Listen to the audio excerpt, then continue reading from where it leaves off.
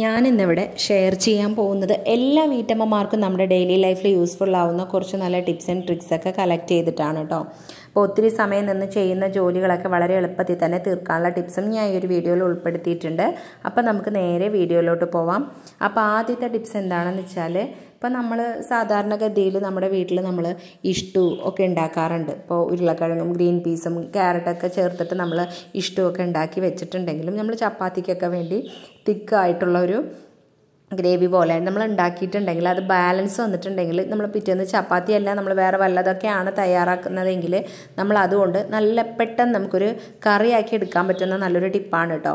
അപ്പോൾ ഇതുപോലെ ഇഷ്ടു ബാക്കി ഉണ്ടെന്നുണ്ടെങ്കിൽ നമ്മൾ ഇതുപോലെ ഒരു പാൻ അടുപ്പത്തോട്ട് വെച്ച് അതിലേക്ക് കുറച്ച് വെളിച്ചെണ്ണ ഒഴിച്ച് ഒരു ചെറിയ മീഡിയം സൈസുള്ള സവോളയും ഒരു തക്കാളിയും അതേപോലെ ഒരു മൂന്ന് പച്ചമുളകും നമ്മളൊന്ന് കൊത്തി അരിഞ്ഞതിന് ശേഷം നമ്മളിതിലേക്ക് ഇട്ട് കൊടുത്തിട്ട് നന്നായി തന്നെ ഒന്ന് വഴറ്റി കൊടുക്കാം കേട്ടോ. എന്നിട്ട് അതിലേക്ക് രണ്ട് വെളുത്തുള്ളിയും അതേപോലെ ചെറിയൊരു കഷ്ണം ഇഞ്ചിയും ഒന്ന് ഇടികല്ലിട്ടിട്ട് ഒന്ന് നല്ലോണം കുത്തിയെടുത്തതിന് ശേഷം നമ്മൾ അതും ഇതിലേക്ക് ചേർത്ത് കൊടുക്കുന്നുണ്ട്.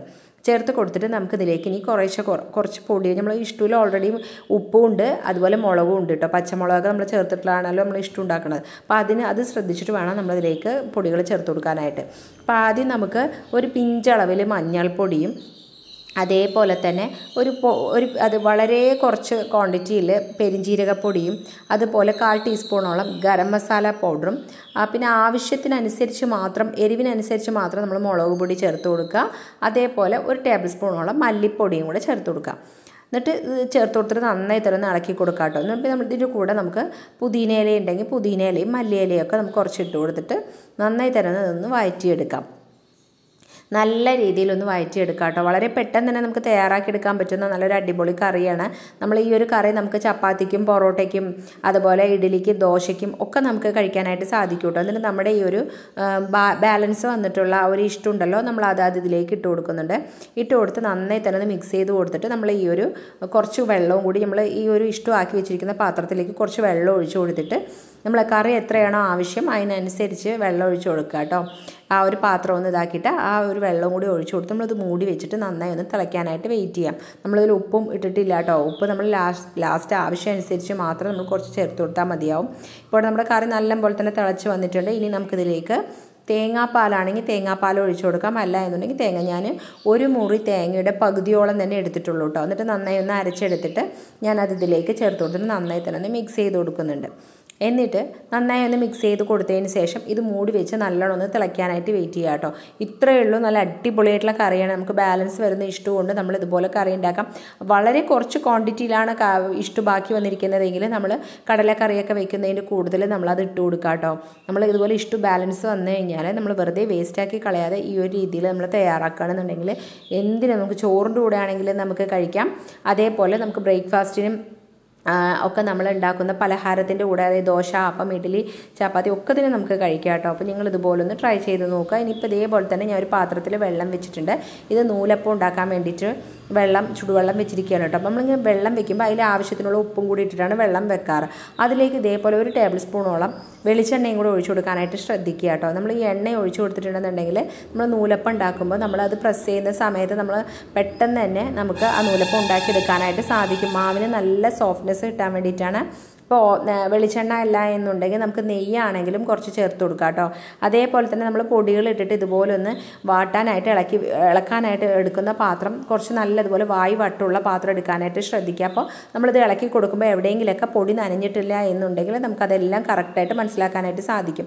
അപ്പോൾ എന്നിട്ട് ഈ തിളച്ച വെള്ളം നമ്മൾ കുറേശ്ശെ കുറേശ്ശെ ഇതിലേക്ക് ഒഴിച്ച് വാട്ടി കൊടുക്കുക കേട്ടോ. അപ്പോൾ ഇതേപോലെ ചെയ്യുകയാണെന്നുണ്ടെങ്കിൽ നമുക്ക് നൂലപ്പം ഉണ്ടാക്കുന്നത് നമ്മൾ ഒരുപാട് കൈക്ക് ബലം കൊടുക്കാതെ തന്നെ നമ്മൾ സോഫ്റ്റായിട്ടും അതുപോലെ പെട്ടെന്ന് തന്നെ നമുക്ക് നൂലപ്പം ഉണ്ടാക്കിയെടുക്കാനായിട്ട് നമുക്ക് സാധിക്കും കേട്ടോ അപ്പോൾ ഇതേപോലെ വട്ടമുള്ള പാത്രത്തിൽ എടുക്കാനായിട്ട് ശ്രദ്ധിക്കുക. അതേപോലെ നമ്മൾ ഇതുപോലെ മാവൊന്ന് വാട്ടിക്കഴിഞ്ഞാൽ അത് വഴി കൈയോടെ തന്നെ നമ്മൾ അതൊന്ന് മൂടി വെക്കാനായിട്ട് ശ്രദ്ധിക്കുക കേട്ടോ. അപ്പോൾ മൂടി വെക്കുമ്പോൾ നല്ലൊരു ഇതുണ്ട് നല്ല മാവ് ഒന്നും കൂടെ നല്ല രീതിയിൽ സോഫ്റ്റ് ആവാനായിട്ട് ഹെൽപ്പ് ചെയ്യും. അപ്പോൾ അതേപോലെ നൂലപ്പം ഉണ്ടാക്കുന്ന തട്ടും അതേപോലെ നൂലപ്പത്തിന്റെ ആ ഒരു ഇതും എല്ലാം നമ്മൾ നല്ല പോലെ ഒന്ന് എണ്ണ തേച്ച ശേഷം നമ്മൾ തയ്യാറാക്കണമെന്നുണ്ടെങ്കിൽ നമുക്ക് നൂലപ്പം ഉണ്ടാക്കി കഴിഞ്ഞാലും പെട്ടെന്ന് ആ ഒരു തട്ടിൽ നിന്ന് വിട്ട് കിട്ടാനും അതേപോലെ നൂലപ്പം പെട്ടെന്ന് നമുക്ക് അത് ഉണ്ടാക്കിയെടുക്കാനായിട്ടും നമുക്ക് വളരെ ഹെൽപ്ഫുള്ളാണ് കേട്ടോ.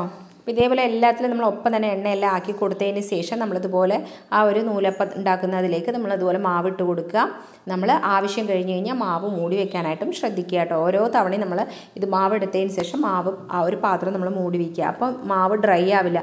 ഡ്രൈ ആവുന്ന സമയത്താണ് നമ്മൾ നൂലപ്പം ഇതുപോലെ ഒന്ന് ആക്കി എടുക്കുമ്പോൾ പെട്ടെന്ന് കിട്ടില്ല. ഭയങ്കര ടൈറ്റായിട്ട് നമുക്ക് നമ്മുടെ കൈക്ക് ഒരുപാട് ബലം കൊടുക്കേണ്ടതായിട്ട് വരും. ഇങ്ങനെയാകുമ്പോൾ നമ്മൾ എണ്ണയൊക്കെ ചേർത്തിട്ട് മാവ് വാട്ടിയെടുക്കുന്ന സമയത്ത് നല്ല സോഫ്റ്റായി തന്നെ നമുക്ക് പെട്ടെന്ന് മാവ് ഉണ്ടാക്കിയെടുക്കാനായിട്ട് സാധിക്കും. പിന്നെ ഒരുപാട് തണുത്തതിന് ശേഷം നമ്മൾ ഉണ്ടാക്കുന്നതിനേക്കാളും ഏകദേശം ആ ചൂടോടുകൂടി തന്നെ നമ്മൾ ചെയ്യണമെന്നുണ്ടെങ്കിൽ നമുക്ക് പെട്ടെന്ന് നമുക്ക് നൂലപ്പത്തിന്റെ പണി നമുക്ക് തീർക്കാനായിട്ട് സാധിക്കും കേട്ടോ. അപ്പോൾ നിങ്ങൾ ഇതുപോലെ ഒന്ന് ട്രൈ ചെയ്ത് നോക്കുക. അതേപോലെ നിങ്ങളുടെ ചാനൽ ആദ്യമായി കാണുന്ന കൂട്ടുകാരാണെങ്കിൽ സബ്സ്ക്രൈബ് ചെയ്യാതെ കാണുന്ന കൂട്ടുകാരുണ്ടെങ്കിൽ ഒന്ന് സബ്സ്ക്രൈബ് ചെയ്യണേ. അതേപോലെ തന്നെ എന്റെ തൊട്ടടുത്ത് കാണുന്ന ബെല്ലൈക്കണിൽ ഓൾ എന്ന ബട്ടൺ കൂടി എനേബിൾ ചെയ്താൽ മാത്രമേ ഞാനിടുന്ന വീഡിയോസിന്റെ നോട്ടിഫിക്കേഷനൊക്കെ നിങ്ങൾക്ക് കൃത്യമായിട്ട് കിട്ടുകയുള്ളൂ കേട്ടോ. അതേപോലെ എന്റെ ചാനലിൽ ഒത്തിരി നല്ല റെസിപ്പീസും അതേപോലെ വീട്ടമ്മമാർക്ക് യൂസ്ഫുൾ ആവുന്ന നല്ല നല്ല ടിപ്സ് ആൻഡ് ട്രിക്സും ഒക്കെ ഞാൻ അപ്ലോഡ് ചെയ്തിട്ടുണ്ട് കേട്ടോ കാണാത്തവരാണെങ്കിൽ ഒന്ന് ചെന്ന് കണ്ടു നോക്കുക. യൂസ്ഫുൾ ആവുകയാണെങ്കിൽ വീഡിയോക്ക് ലൈക്ക് ചെയ്യാനും ഒന്നും മറക്കരുത്.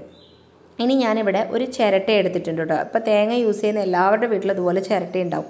അപ്പോൾ ഈ ചിരട്ട വെക്കാൻ പാകത്തിന് ഞാൻ ഒരു ചെറിയൊരു സ്റ്റീൽ പാത്രം കൂടി എടുത്തിട്ടുണ്ട് കേട്ടോ. അല്ലെങ്കിൽ അത് ചരിഞ്ഞ് വീഴാതിരിക്കാൻ വേണ്ടിയിട്ടാണ്. എന്നിട്ട് നമ്മുടെ വീട്ടിൽ ചന്ദനത്തിരിയൊക്കെ ഉണ്ടാവാറുണ്ടല്ലോ. അപ്പോൾ ചന്ദനത്തിരിയിൽ നിന്ന് ഒരു രണ്ട് ചന്ദനത്തിരി നമ്മൾ എടുക്കുന്നുണ്ട് കേട്ടോ. എന്നിട്ട് ഇതുപോലെ ഒന്ന് കട്ട് ചെയ്ത് കട്ട് ചെയ്ത് അതിന്റെ ഉള്ളിലുള്ള ആ ഒരു മരുന്ന് മാത്രം നമ്മൾ എടുക്കാനായിട്ട് ശ്രദ്ധിക്കുക. അപ്പോൾ കുറച്ച് ചെറിയ രീതിയിൽ തായിന്റെ ആ ഒരു ഇതുണ്ട് സ്റ്റിക്ക് ഉണ്ടെന്നുണ്ടെങ്കിലും കുഴപ്പമൊന്നുമില്ല. ഇതേപോലെ ഒന്ന് ആക്കിയെടുത്തതിന് ശേഷം പിന്നെ നമ്മൾ ഇനി ഇതിലേക്ക് അടുത്തതായിട്ട് ചേർക്കുന്നത് കോഫി പൗഡറാണ് കേട്ടോ. നമ്മൾ കോഫി പൗഡർ വളരെ കുറച്ചായിട്ട് നമ്മൾ ഒരുപാടൊന്നും ഇട്ട് കൊടുക്കേണ്ട ആവശ്യമില്ല. ശരിക്കും പറയുകയാണെങ്കിൽ ഇതിപ്പോൾ നമ്മൾ രണ്ട് ചന്ദനത്തിരിയാണല്ലോ എടുത്തിരിക്കുന്നത്. അപ്പോൾ ഇതിലേക്ക് നമുക്കൊരു അര ടീസ്പൂണോളം മാത്രം നമ്മൾ ചേർത്ത് കൊടുത്താൽ മതിയാവും കേട്ടോ. ഇങ്ങനെ ചേർത്ത് കൊടുക്കാം. അതിനുശേഷം ഞാൻ ചെറിയ സാഷയാണ് എടുത്തിരിക്കുന്നത്. അപ്പോൾ ഇത് ആവശ്യം കഴിഞ്ഞ് കഴിഞ്ഞാൽ ഇതേപോലെ റബ്ബർ ബാൻഡ് ഇട്ടിട്ട് നമ്മൾ ഫ്രിഡ്ജിനകത്ത് സൂക്ഷിക്കുകയാണെങ്കിൽ എത്ര നാൾ കഴിഞ്ഞാലും നമ്മുടെ ഈ ഒരു ചായ കോഫി പൗഡർ ഒരിക്കലും കട്ട പിടിക്കില്ല കേട്ടോ. നമ്മൾ പുറത്ത് വെക്കുകയാണെങ്കിൽ പെട്ടെന്ന് തന്നെ കട്ട പിടിച്ച് പോകാൻ സാധ്യതയുണ്ട്. ഇതുപോലെ പാക്കറ്റ് പൊട്ടിച്ചിട്ടുണ്ടെന്നുണ്ടെങ്കിൽ.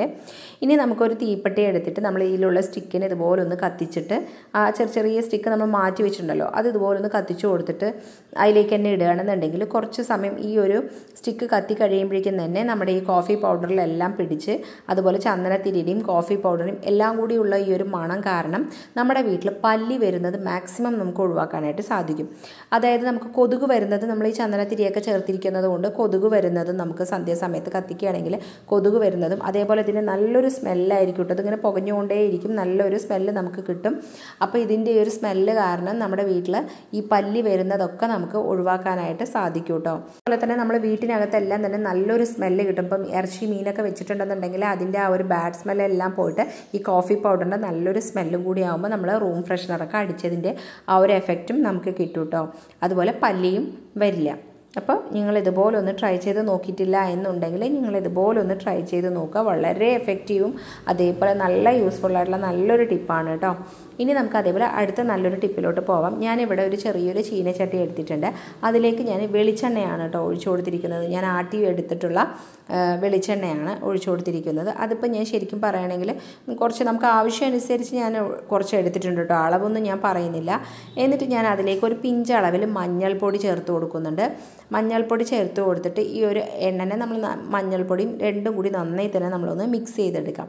അതിനുശേഷം നമുക്ക് വീട്ടിൽ നമ്മുടെ വീട്ടിൽ ചിരട്ടയൊക്കെ ഉണ്ടെന്നുണ്ടെങ്കിൽ അതിലൊരു ചിരട്ട നമ്മൾ എടുത്തിട്ട് ഇതുപോലെ ഒരു ചിരട്ടന്റെ പകുതിയോളം ഇതുപോലെ രണ്ട് മൂന്നാൽ കഷ്ണങ്ങളാക്കി നമ്മൾ കട്ട് ചെയ്ത് എടുത്ത് എടുക്കുക കേട്ടോ. ഒന്ന് ഒരു വെട്ട് കത്തി കൊണ്ട് നമ്മൾ അതിന്റെ കമഴ്ത്തി വെച്ചിട്ട് ഒന്ന് ഒന്ന് തട്ടി കൊടുക്കുകയാണെങ്കിൽ ഇതുപോലെ ചെറിയ ചെറിയ കഷ്ണങ്ങളായിട്ട് നമുക്ക് കിട്ടും. എന്നിട്ട് നമ്മൾ ഈ ഒരു എണ്ണയിലേക്ക് ഇതിട്ട് കൊടുത്തിട്ട് എല്ലാവരുടെയും ഇതുപോലെ ആക്കി കൊടുത്തതിന് ശേഷം നമ്മൾ ഓവർനൈറ്റ് ഇത് റെസ്റ്റ് ചെയ്യാനായിട്ട് വെക്കാം ഓവർനൈറ്റ് വെച്ചില്ല എന്നുണ്ടെങ്കിൽ നമ്മൾ പകലാണിത് ചെയ്യുന്നതെങ്കിലും ഒരു എട്ട് മണിക്കൂറോളം ഈ ഒരു എണ്ണയിൽ ഈ ഒരു ചിരട്ട അങ്ങനെ കിടന്നോട്ടെ കേട്ടോ അങ്ങനെ ചെയ്തതിന് ശേഷം നമ്മളിതിലേക്ക് കർപ്പൂരം കൂടി ചേർത്ത് കൊടുക്കണം കേട്ടോ. അത് ഞാൻ വിട്ടുപോയതാണ് ഒരു കർപ്പൂരം. നമ്മൾ പച്ചമരുന്ന് കടയിലൊക്കെ കിട്ടുന്ന നല്ല കർപ്പൂരമാണെന്നുണ്ടെങ്കിൽ അത് അത്രയും നല്ലത് അല്ല എന്നുണ്ടെങ്കിൽ പൂജയുടെ ആവശ്യത്തിനൊക്കെ നമ്മൾ യൂസ് ചെയ്യുന്ന കർപ്പൂരമാണെങ്കിൽ ഒരു രണ്ട് കർപ്പൂരം പൊടിച്ച് ഇതിലേക്ക് ചേർത്ത് കൊടുക്കുക കേട്ടോ. ചേർത്ത് കൊടുത്തതിന് ശേഷം നമ്മളിത് ഓവർനൈറ്റ് വെച്ചിട്ട് ഇപ്പോൾ മോർണിംഗ് ഞാനിതിനെ ഗ്യാസ് അടുപ്പിലോട്ട് വെച്ച് കൊടുക്കുന്നുണ്ട്.